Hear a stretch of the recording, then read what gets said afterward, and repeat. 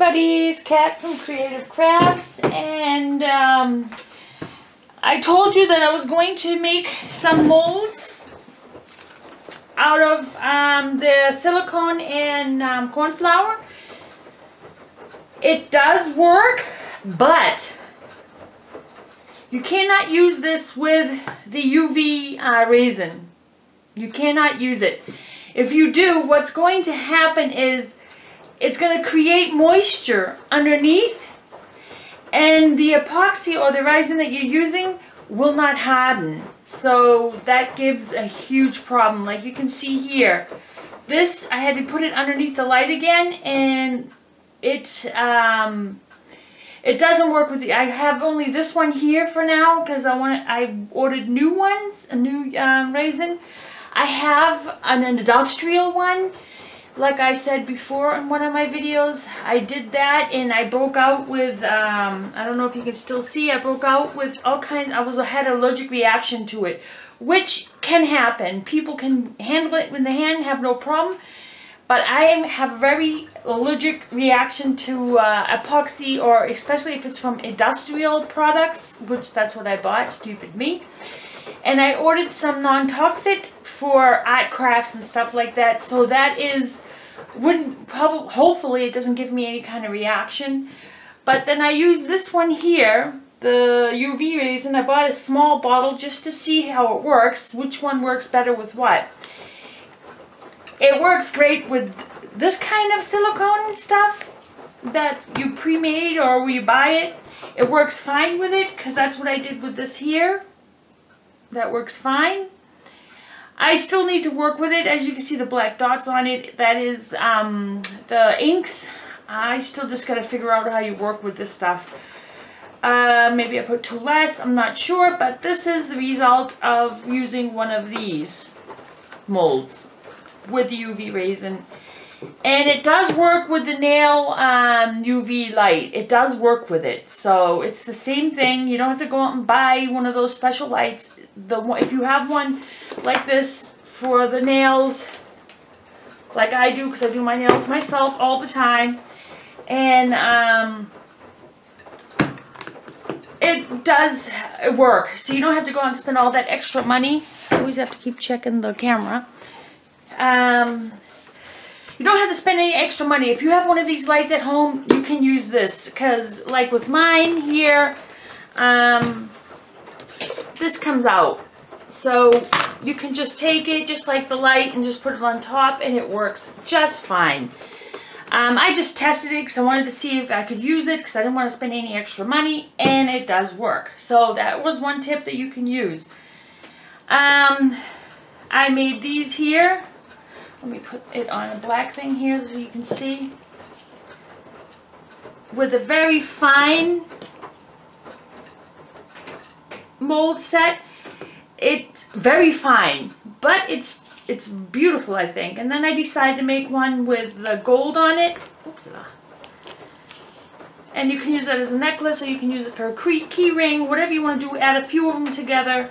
I was just fooling around. This is just fooling around stuff. And I made this myself with my wire, jewelry wire that I bought. the stuff here.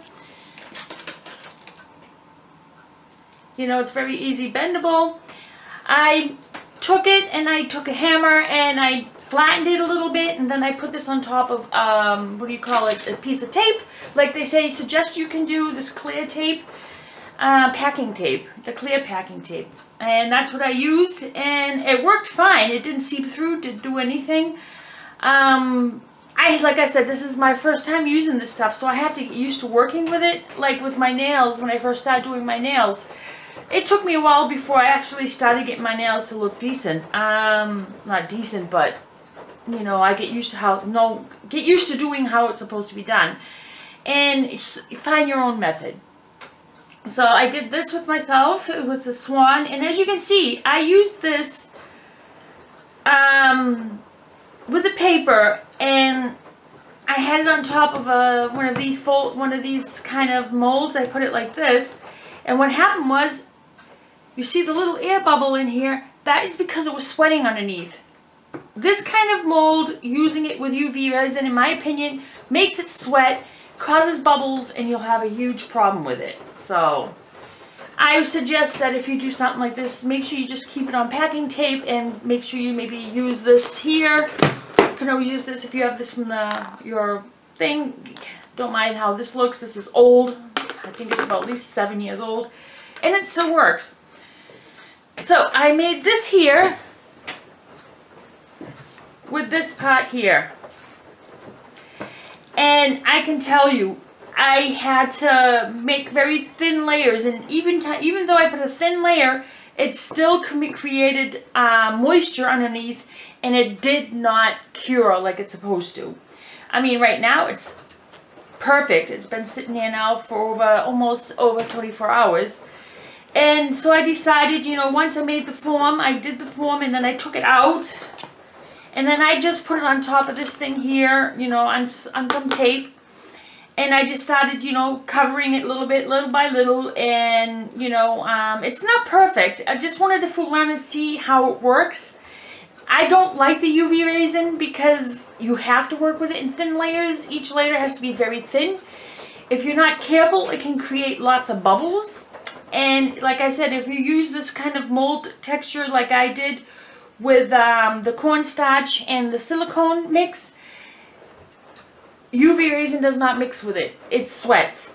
This kind of method, I don't know, the material inside it somehow makes the UV resin sweat and it doesn't cure. It does not cure. It just causes bubbles.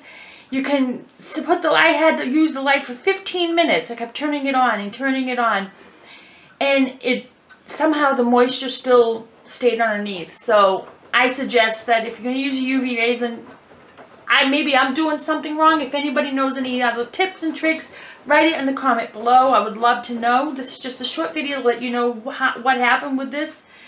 Um, the UV resin, like I said, I used it on with these ones here.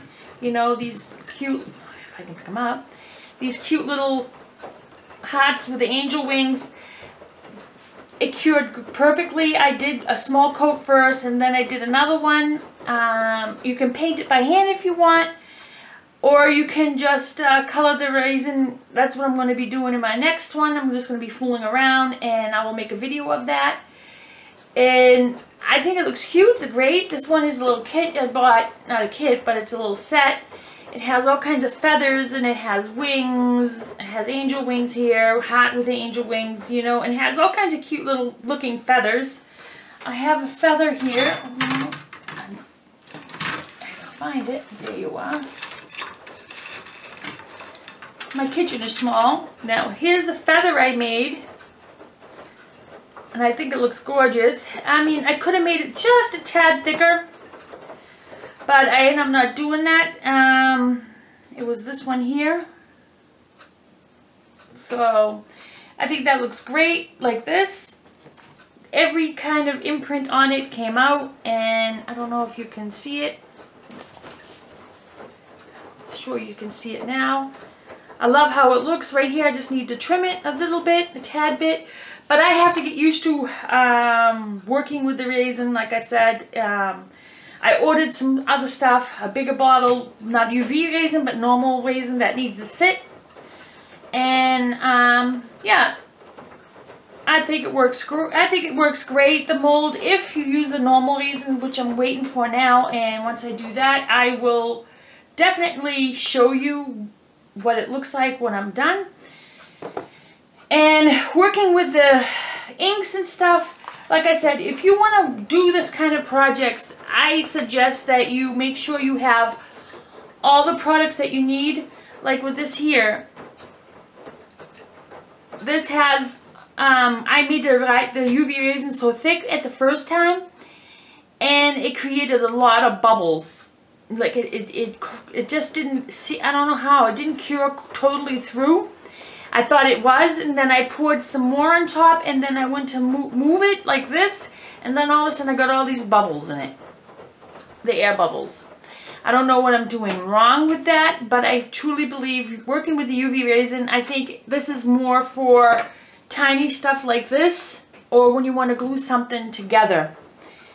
um, making something out of it, you really need to have patience. And, in my opinion, maybe it's just this one from Decorum. Um, expensive, I can tell you right now. I think I paid 12 euros just for this tiny little bottle. And um, if you want to spend money on it, fine, do it. But I rather just got a big, uh, the, I forgot, don't know exactly what brand I bought. Let me see, let me check. The, keep checking out. Now let me go on my Amazon.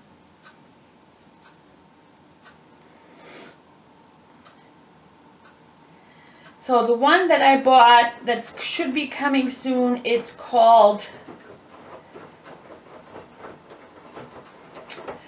Craft Raisin Raisin. It's um, 1,000 milligrams and I paid 40 euros for it um, because right now I'm, I'm ordering it as a subscription, so it comes every month, so I get it only for 40 euros.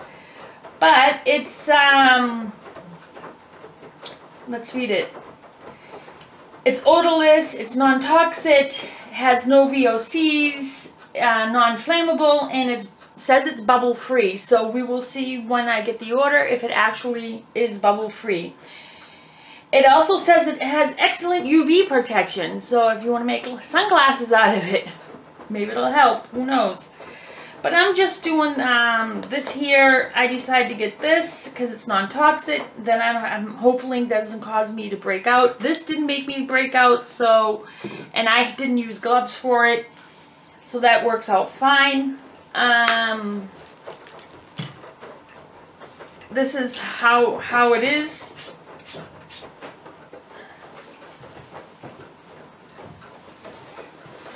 Yeah, like I said, if you really want to do anything, like I said, these are the things I've done so far with the UV resin, the small little project stuff. I started making some coasters. I made some out of cement here. It's supposed to look like this. So I'm waiting for the other resin to come in and I'm going to color it different colors, maybe use inks or whatever it is. But I think this will look awesome once it's covered. Or I can, you know, um, stick this only halfway in and make the other half see-through. I've been doing so many different projects, like other people, ideas they have or what they've done.